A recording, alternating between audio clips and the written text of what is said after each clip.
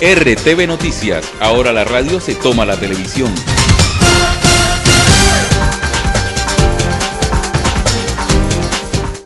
Siete de la mañana, 47 minutos. Eh, en línea tenemos al médico Wilman Yurkaki Ledesma. Con él vamos a hablar sobre eh, los compromisos, hombre, o las diligencias que se van a hacer en el tema de salud para un municipio, un corregimiento como lo es el corregimiento de Tutunendo, que en días pasados, pues, en protesta bloquearon la vía para que eh, los escucharan por parte del gobierno municipal, que en su efecto inmediatamente eh, estuvo con su equipo de trabajo allá, eh, tocando los temas y, viendo a ver cómo se le daba solución. a ustedes, como lo pueden observar, ahí está el señor alcalde, el procurador, pero el médico también hizo la exposición del tema de salud en este corregimiento, Pedro. Sí, señor, recuerde usted que les hacía claridad el médico de que se estaban prestando los servicios en el corregimiento de Tutunendo, pero que prácticamente los recursos eran designados a una IPS eh, Chichijay, Chichijay, que no tiene puesto de salud allá, que no atienden, los pacientes los atiende el Roldán, pero a la hora de pagar, la chimijarra se va para Chichijay. Sí, señor. Eh, supimos que el doctor Yurdaki había viajado a Bogotá para hacer diligencias en lo que tiene que ver con el tema de Tutunendo, pues la idea es conocer qué tanto se ha podido avanzar para darle también tranquilidad a Tutunendo y la gente que visita o los que visitamos esa región del departamento del Chocó. señor. Claro que sí, médico, con los buenos días, hombre, esta gestión a la cual adelantó usted, eh, ¿qué nos puede contar? ¿Cómo le fue? ¿Qué, se habló de, este tema? Buenos días, Rafa, a los compañeros de la mesa y a todos los televidentes de este importante noticiero. Bueno, eh, vamos por parte. Eh, en el tema de Tutunendo, las exigencias de la, de la comunidad eran en su orden. Era primero que se devolvieran dos equipos que habíamos traído, son una incubadora y una lámpara de calor radiante estos equipos los trajimos porque el San Francisco los necesitaba para poder abrir uno de los quirófanos y en Tutunendo no estaban siendo utilizados porque pues prácticamente nosotros hoy en día como política institucional los partos procuramos que sean partos seguros y los estamos haciendo en los hospitales porque el Chocó tiene eh, los más altos índices de morbimortalidad, o sea, enfermedades y muertes eh, maternas y perinatales, las que ocurren alrededor del nacimiento. Entonces, como posible, los hacemos, procuramos que sean institucionales. Pero, eh, médico, eh, se, se logra, se logra realizar algo de pronto en el Ministerio de Salud, eh, eh, de pronto podríamos tener un avance no solo para Tutunendo, sino para eh, el municipio como tal? Bueno, Rafa, en el tema de, ministerio que venimos trabajando, el Tutunendo y otros seis centros fueron construidos directamente por el gobierno nacional y su diseño fue esto en Bogotá y sus contratistas fueron desde Bogotá. Entonces hay unos problemas eh, estructurales desde que se construyó el centro que tienen que ver con la interventoría y con la garantía de la obra. Eh, hablamos con el viceministro, radicamos oficialmente una solicitud y él se ha comprometido a mandar una auditoría de obra para revisar qué pasó con estos centros y, qué hay que, qué intervención hay que hacer para corregir las cosas que quedaron con algunos problemas que no se adaptan a nuestra región. Eso específicamente con Tutunende. La otra diligencia que hicimos es un tema que eh, para el cual habíamos sido convocados. Nosotros atendemos una zona de desmovilización de la, de la FARC que se llama Brisas, eh, que queda en Río Sucio, entre Río Sucio y Carmen de Ariem, muy cerca de Belén de Bajira, y eh, logramos que el gobierno nacional nos va a dar una nueva ambulancia completamente toda la va a financiar el gobierno, nunca ocurre eso. Pero a los que, a algunos que venimos eh, prestando unos servicios en unas condiciones muy particulares, el gobierno nos va a dar una ambulancia para nosotros comprometernos a prestar el servicio de ambulancia eh, en esa zona veredal donde actualmente tenemos una enfermera para poder atender no solamente las emergencias de los desmovilizados, sino también de las comunidades vecinas que están ahí a los alrededores. Doctor Yurgaki, eh, buenos días. Eh, a los tres puntos que fueron acordados con la comunidad en materia de salud, el primero de ellos el tema de la ambulancia del cual usted acaba de hablar, también tenemos como segundo punto la devolución de unos equipos que se habían traído de ese corregimiento, como también el intercambio de las incubadoras por otros elementos. En materia de tiempos, ¿cuándo se va a ir cumpliendo con cada uno de ellos para mayor tranquilidad de la comunidad y para que se pueda hacer un seguimiento efectivo del cumplimiento? Bueno, los dos equipos vamos a ver si los devolvemos hoy, aunque ellos después dijeron que no querían que se devolvieran porque saben que los equipos allá no prestan la función para la que están destinados y no querían que se les devolviera, pero que, se les cambiara por otro. Pero el compromiso mío es que en el transcurso, ojalá en el día de hoy, los podamos llevar. El otro tema es que si ellos eh, al final del mes tienen adecuado el sitio, vamos a poner una ambulancia en Tutunendo 24 horas y la Secretaría de Salud y la de la alcaldía eh, se comprometieron a, a, pagar el conductor. Y eh, nosotros hemos dicho, y aclaro una noticia, pues la noticia que ustedes dieron, ¿qué es lo que ocurre? Ellos están pidiendo que haya un médico permanente, nosotros vamos todos los días a Tutunendo, pero poner un médico en Tutunendo permanente tiene, implica que tenemos que conseguir una casa donde viva la alimentación y algunas otras cosas mínimas, básicas. Eh, en este momento la población de Tutunendo no toda está contratada con la IPS nuestra está contratada, por ejemplo, la indígena con el la indígena, la afro está contratada una parte con nosotros y otras no saben está contratada con otras IPS dependiendo de las EPS que hay allá, que son con Pachocó y Ambú. Entonces nosotros lo que hemos dicho es que ellos hagan la gestión de tal manera que si toda la población está contratada con nosotros, nosotros podemos poner el médico de manera permanente y en materia de apoyo en lo que tiene que ver con el tema turístico, en la salud, diga usted contar con brigadas o, el envío de personal médico durante los fines de semana para que no solamente esté cubierta la población de Putunendo, sino todas las personas que llegan hasta ese sitio a disfrutar y demás para que frente a algún tipo de situaciones se pueda prestar una atención eh, primaria como es debido? Esa decisión la tomamos hace rato, nosotros ahora cambiamos los horarios vamos los fines de semana y simplemente no vamos dos días entre semanas.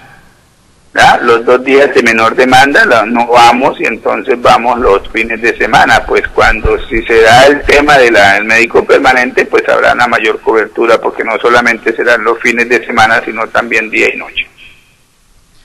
Médico, pero eh, el cuento este de Chichijay la, el Ismael Roldán presta la atención, hace todo lo debido, pero no recibe los dividendos o la simijarra. ¿Qué es lo que está pasando ahí? ¿Por qué Chichijay es la que recibe el billete? No, porque es que los indígenas tienen una IPS que se llama así el Chichijay y en el municipio de Quito los indígenas todos están, eh, con la atención de ellos están contratados con el Chichijay entonces, por ejemplo, los indígenas que están en Huachosa, 21, 20, bajan a Tutunendo, pero y nosotros los tenemos que los atendemos, pero porque pues, ellos acuden a nuestros servicios, pero como son servicios ambulatorios, no son urgencias, no se la, el Chichijay no nos las paga a nosotros, nosotros prestamos la atención, pero ellos no, no, no la pagan ahí tenemos que entrar, yo les dije, a concertar unas cosas con la GPS para que esto no siga ocurriendo, porque quien presta el servicio debe ser a quien se le pague realmente. Eh, pero se pierde mucho dinero en esta atención médico para una empresa como el Ismael Roldán. Eh, ¿Cómo se puede sostener eso? Porque eh, me imagino que se elevarían también los costos y, y al futuro de una de un hospital como este, pues sería un perjuicio. Sí, nosotros, lo que te digo, Rafa, que hay que llegar a un nivel de concertación entre todos los actores del sistema, entre los aseguradores y los prestadores, porque porque pues eh, los indígenas reclaman que su población tiene que ser contratada con la IPS de ellos, pero ellos no tienen cobertura en, todo en todos los sitios, entonces ellos no, no los atienden efectivamente en todos los sitios eh, y nosotros terminamos prestando el servicio. Por ejemplo, nosotros en el 20 tenemos un, promotor que es indígena. Ellos tienen ahora, me acaban de contar que tienen uno en el 21 entonces, pero antes no tenían. Entonces nosotros de alguna manera tendríamos que retirar ese promotor que tenemos en el 20 o pasarlo para una comunidad afro porque eh, ese servicio está contratado eh, inicialmente pues con, con el Chichijay y no con la atención de las comunidades indígenas de ah, Barrios Unidos están contratadas con el Chichijay y no con nosotros. Pues hombre médico, estaremos muy atentos eh, y agradecerle por la atención, esperando que todos estos acuerdos pues y las gestiones se puedan cumplir para la gente del corregimiento de Tutunendo. Que pase buen día. Gracias, lo mismo, Rafa. Muy buen día para usted y para todos los televidentes. Que vea, chichi, chichijay, cobra el billete, no pagan nada. muy bien los indígenas.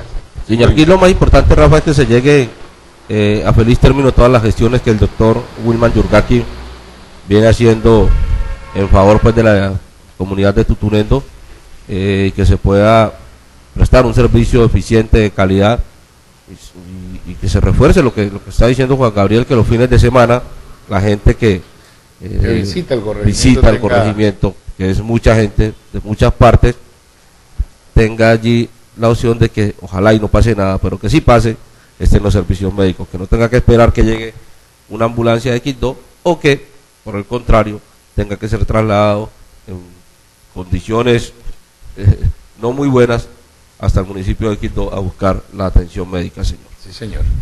¿Qué acuerdos se firmaron, Juan Gabriel? Mire, Rafael, hay que recordar que eran tres las instituciones que estaban siendo llamadas por parte de la comunidad con miras a buscarle salida a algunos inconvenientes que exigía la comunidad. Eh, pues estaba Sonacol, que es la empresa encargada de materia vial en ese sector del departamento, estaba la alcaldía de Quito y pues también en ese mismo orden se llamó Alimvías. Con la empresa Sonacol, el primer punto o el primer acuerdo al cual llegaron fue el de pagar 10 mil pesos por cada volqueta que salga de eh, San Francisco de Ichó. Como segundo, se hará una visita ambiental para determinar las causas de la suciedad en el río, el control de los residuos sólidos y el vertimiento de lavadero de automotores. También se creará un comité de seguimiento y evaluación de los procesos disciplinarios, quejas y reclamos.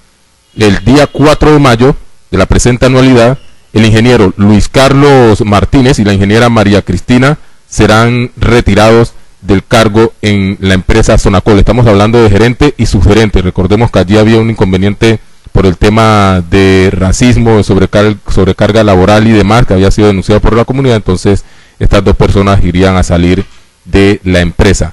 Los acuerdos con la alcaldía, pues el primero tenía que ver con salud, ya lo ha dicho aquí el doctor Wilman Yurgaki, se va a contar con una ambulancia permanente, pero antes el Consejo Comunitario debe habilitar un espacio para que se pueda mm, eh, utilizar como garaje, para que pueda ser guardado este automotor. Se devolverán los equipos que se llevaron del puesto de salud de Tutunendo y se hará un intercambio de lo que son las incubadoras por elementos que se requieren con urgencia en el puesto de salud de ese corregimiento. Sí, señor, de todo.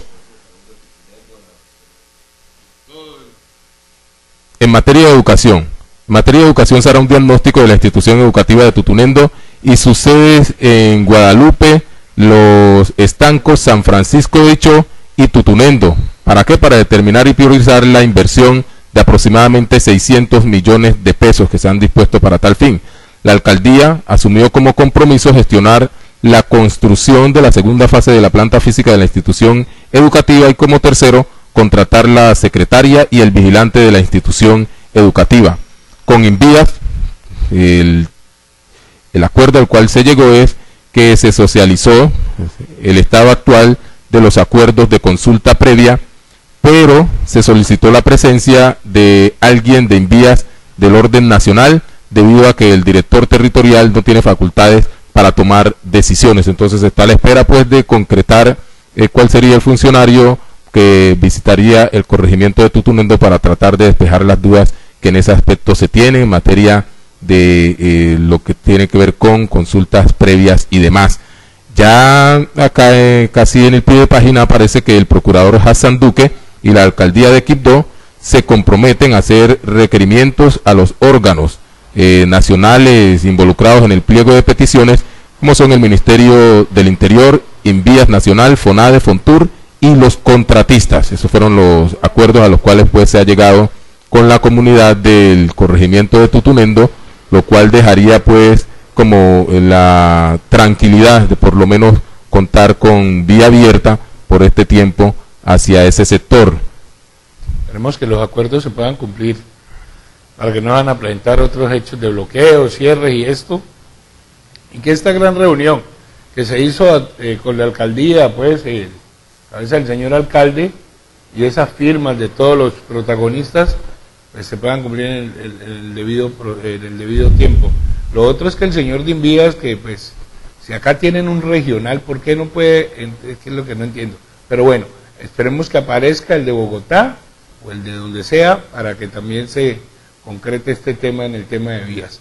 Porque me parece son desgastes que no se pueden seguir, no pueden seguir sucediendo acá en el departamento. 8 de la mañana, 4 minutos, hacemos pausa y ya volvemos.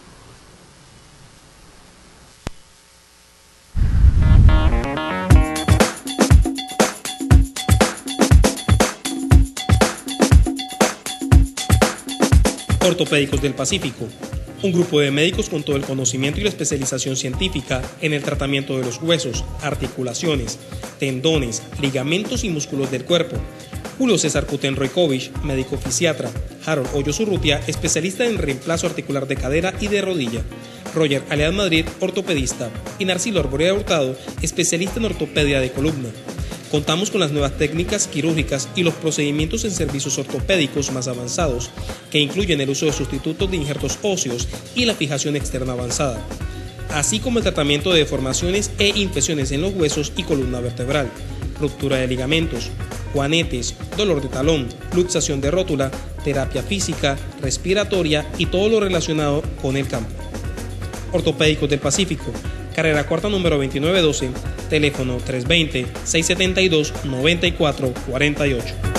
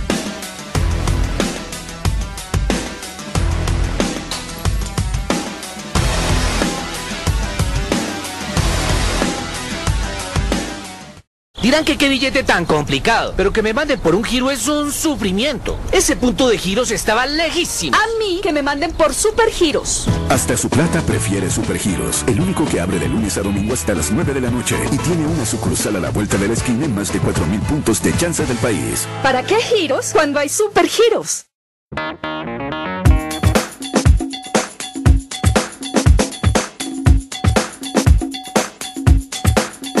Ortopédicos del Pacífico, un grupo de médicos con todo el conocimiento y la especialización científica en el tratamiento de los huesos, articulaciones, tendones, ligamentos y músculos del cuerpo. Julio César Kutenroikovich, médico fisiatra, Harold Hoyos Urrutia, especialista en reemplazo articular de cadera y de rodilla, Roger Alead Madrid, ortopedista, y Narcilo Arborea Hurtado, especialista en ortopedia de columna. Contamos con las nuevas técnicas quirúrgicas y los procedimientos en servicios ortopédicos más avanzados, que incluyen el uso de sustitutos de injertos óseos y la fijación externa avanzada, así como el tratamiento de deformaciones e infecciones en los huesos y columna vertebral, ruptura de ligamentos, juanetes, dolor de talón, luxación de rótula, terapia física, respiratoria y todo lo relacionado con el campo. Ortopédicos del Pacífico, carrera cuarta número 2912, teléfono 320-672-9448.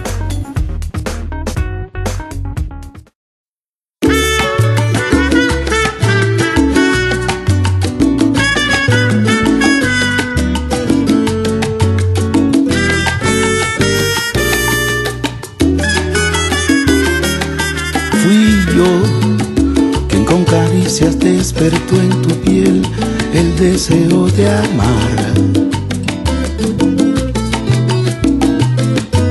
Fui yo quien tocó tu secreto por primera vez y con ternuras ahuyento tu timidez y entro en tu cuerpo. Fui yo quien te enseñó a besar y a conjugar el verbo amar y te puso a volar